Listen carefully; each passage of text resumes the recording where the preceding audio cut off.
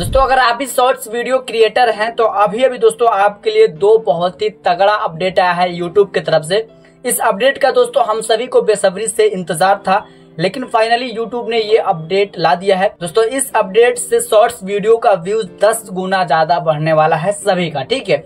ये बहुत ही तगड़ा अपडेट है दोस्तों। तो अपडेट जानने के लिए बने रही वीडियो में चैनल को सब्सक्राइब नहीं किया दोस्तों तो फटाफट हमारे चैनल को भी सब्सक्राइब कर लीजिए। दोस्तों, पहला अपडेट यह है कि पहले आप शॉर्ट्स वीडियो जब अपलोड करते थे तो वहाँ पे दोस्तों कस्टम थंबनेल लगाने का कोई भी ऑप्शन नहीं आता था। यानी कि दोस्तों, आप अपने शॉर्ट्स वीडियो में थंबनेल नहीं लगा पाते थे अलग से, ठीक है? उसी वीडियो के किसी क्लिप को जो है, आपको थंबनेल के रूप में वहाँ पे सेट करना होता था, लेकिन अलग से आप थंबनेल नहीं लगा पाते थे। लेकिन दोस्तों फाइनली यूट्यूब ने ये अपडेट ला दिया है। अब दोस्तों, आप अपने शॉर्ट्स वीडियो में भी कस्टम थंबनेल लगा पाएँगे।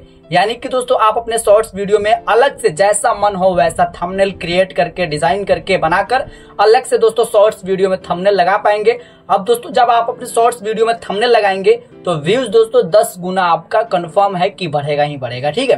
क्योंकि दोस्तों यूट्यूब पे ज़्यादातर व्यूज़ दोस्तों थंबनेल से ही आता है, ठीक है? जितना बेटर आपका थंबनेल रहता है उतना अच्छा खासा व्यूज़ भी आपका आता है वीडियोस भी आपका वायरल होता है, ठीक है? ये अपडेट दोस्तों, मुझे तो बहुत ही बेस्ट लगा। आपको ये अपडेट कैसा लगा प्लीज़ कमेंट करके ज़रूर बताइएगा। दूसरा अपडेट यह है दोस्तों कि पहले आप A I voice generate video बनाते थे तो किसी वेबसाइट के थ्रू गूगल पे या जो है किसी एप्लीकेशन के थ्रू आप ऑडियो को जनरेट करते थे, उसके बाद वीडियो एडिटिंग वगैरह करके आप शॉर्ट्स वीडियो को अपलोड करते थे। लेकिन फाइनली यूट्यूब ने वो अपडेट ला दिया है जब आप अपने शॉर्ट्स वीडियो को अपलोड कीजिएगा, उसी टाइम दोस्तों एक ऑप्शन मिलेगा टेक्स्ट टू स्पीच का, ठीक है? वहाँ पे जो कुछ भी लिखिएगा दोस्तों, वो वॉइस में जनरेट हो जाएगा, ठीक है? यानी कि जो मन किया वो लिख दीजिए और आपका जो है स्पीच में यानी कि वॉइस बनकर रेडी हो जाएगा। और इतना ही नहीं दोस्तों, वहाँ पे जो है अलग अलग वॉइस का ऑप्शन भी देगा, ठीक है? जैसा मन आप वैसा वॉइस भी बना सकते हैं। और दोस्तों आप जो है A I voice text to speech वाला ऑप्शन दोस्तों आपको शॉर्ट्स वीडियो में भी मिलेगा, ठीक है? डायरेक्ट शॉर्ट्स अपलोड कीजिएगा तो वहाँ पे भी ऑप्शन मिल जाएगा, ठीक है? तो यही दोस्तों, ये दो तगड़ा अपडेट आया है, ये अपडेट दोस्तों मुझे बहुत अच्छा लगा, आपको कैसा लगा प्लीज़ कमेंट करके ज़रूर बताइएगा।